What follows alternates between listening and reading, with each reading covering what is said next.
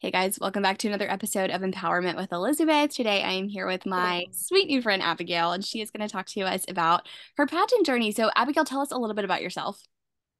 Thank you so much for having me. This is so exciting, and I'm super excited to kind of get into it with you today. Um, so, I am Abigail. I am a doctoral student at Touro University, Nevada, studying occupational therapy. I have a bachelor's degree in disability services from the Indiana University of Pennsylvania. I have a dog named Tucker. I'm the current Miss Nevada volunteer. Um, I run a few uh, nonprofit programs out here in Nevada, and I live in Las Vegas. I love it. I love it. So, talk to us about how you got started in pageantry. You know, when did you start? Where did you start? And how did it get you to where you are now? Absolutely. I think almost like every girl um, that I've come in contact to throughout pageantry, we didn't know how to pay for college. College came senior year of high school. I realized how expensive it was going to be.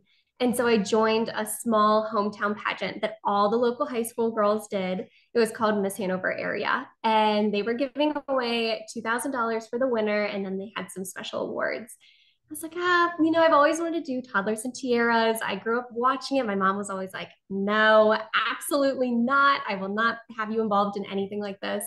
Um, but I, I did dance growing up. And so I had my talent and I just needed a dress. They didn't do swimsuit at this one. Um, so we went, we got a, a gown and I competed and actually um, won the whole thing. And my mom was hooked. She was like, all right, you can keep doing pageants, you know, no problem. So I walked away from that with over $2,000 in scholarships and joined the Miss America organization. Um, and I wouldn't have known really about how to get involved with the Miss America organization if it wasn't for our production tech that did Miss Hanover area. She was like, You need to do Miss York County. You need to get into all this stuff. There's so much more scholarship dollars to be won. And so I just kind of joined. I had watched Miss America before. I didn't think of how do people get there.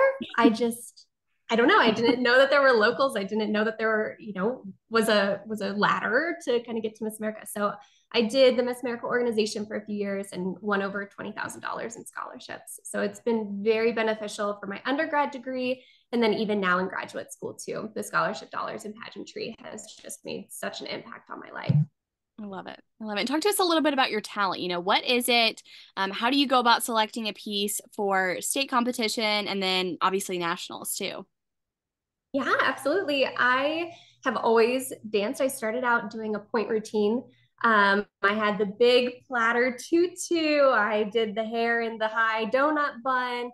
I loved it, but I just couldn't keep up with it in college. I wasn't dancing as much. So I was able to maintain that for the first few years of pageantry, but my true heart and and love is in lyrical and just combining jazz with ballet and telling a story. And so I started with Via Dolorosa by Sandi Patty, and I did that for a few years and won a preliminary talent award too at Miss Pennsylvania, which was so exciting um, and such a big blessing and honor. And then I did you raise me up because I wanted to kind of give back to my family and thank them for everything that they've done supporting me through this crazy journey of pageantry.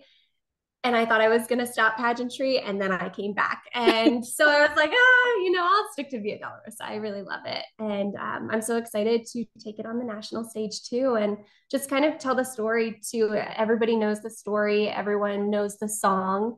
And so it's just something that I can really get into emotions with and portray that on stage. And that's why I really love lyrical and Via Dolorosa. I love it. I love it.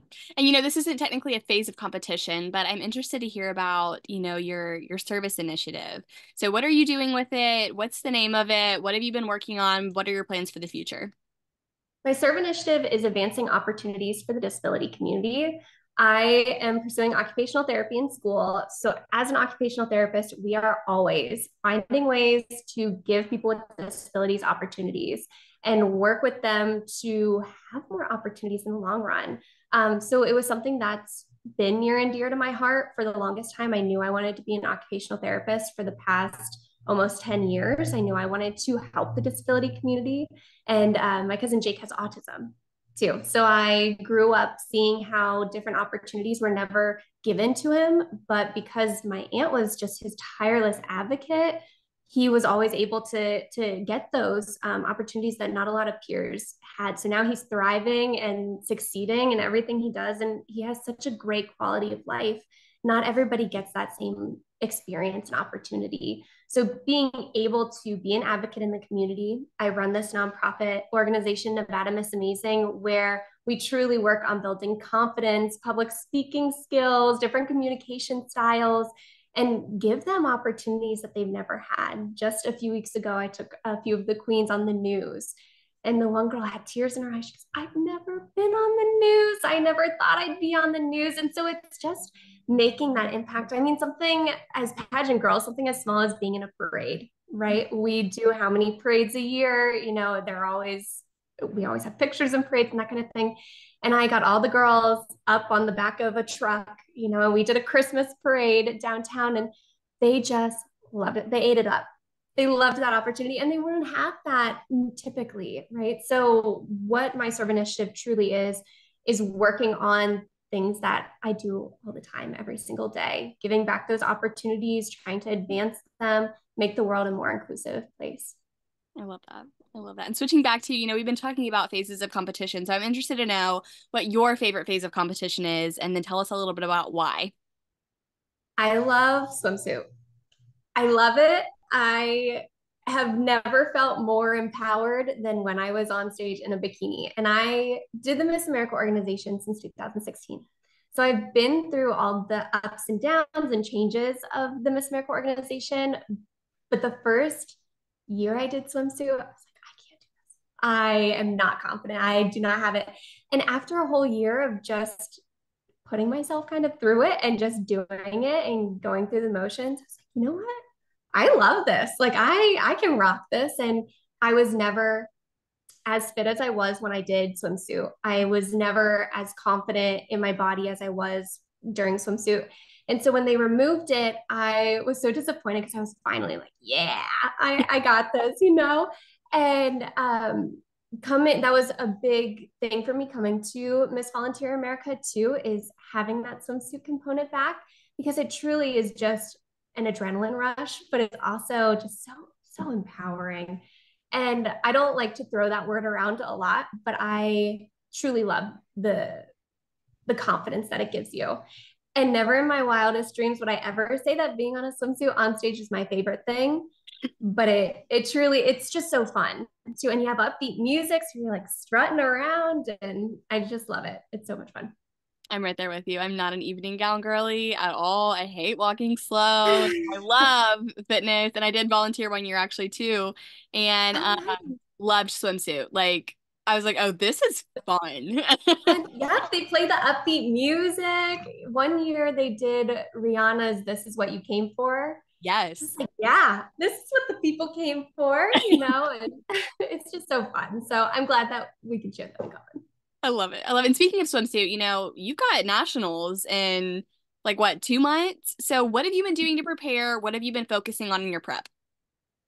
Right now, where I am with school, graduate school is very demanding. Um, but right now, I'm actually in the field. I'm doing what we call field work, and that's kind of like our internship. So I am working like a full time OT. Um, I have clients throughout the day. I get there at 7 a.m. I don't leave until 6:30, and that is my full day. Um, so really, the biggest part of prep for me has been meal prepping and just sticking to a diet. But I am also one of those people that's like, I could use a sweet treat every once in a while. So it's been so fun to go on social media and um, see all these healthy recipes of how people can include chocolate or ice cream and how they can make it healthier. So playing around in the kitchen too and being able to experiment, I've really loved. And it really helps my body stay energized and motivated and awake throughout the day too while I'm seeing patients because back to back it gets very draining. So um, having that, and then I don't know if you drink Celsius. Are you a Celsius? Oh, absolutely. have, like Celsius has cola, which I just discovered, and I love that I have it on hand right here. It's a cola. It tastes almost like Coke, and I'm I'm a Coke over Pepsi. so um, I really love this. It's a little bit like kind of watered down, but it still has that same taste. So it, I'm tricking my body into being healthier. But that's typically been the prep. So it's it. been nice. okay, final question. If you could give one piece of advice to a girl competing uh, for her first year and being a first year uh, title holder, what advice would you give her? I talk to girls all the time. I was a dance teacher for a few years, and I have a lot of girls that were my past students that have done pageants, and a lot that have done the Miss Hanover area pageant, my very first one. And they've just kept going um, with different pageant systems to get that scholarship dollars.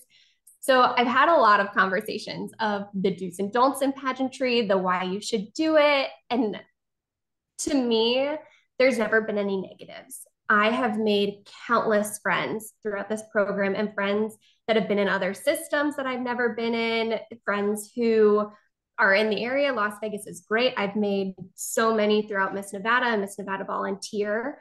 And so I think just being your true authentic self, it really shows on stage and in the interview room. And then also the girls know too. And that's one thing that I've really looked for in making friends in the system is who's being their true selves because I know once the pageant's over, how are they going to be as a friend too? Mm-hmm. So being true to yourself, putting time into your prep is really important. And a lot of girls overlook just having some of these conversations. This is a great opportunity for me for interview prep. How do you answer questions? How do you minimize the ums that you put in? And and just being able to talk to people too. One thing that's the biggest part of my prep is finding friends or acquaintances who don't share the same opinions that I do. And you have to find these people that will sit down with you, will talk about their opinions and their views, they'll you have to listen and then they'll listen to you too. And i think that those answers really help in the interview room because you have an idea of different perspectives and it helps make you a more well-rounded person.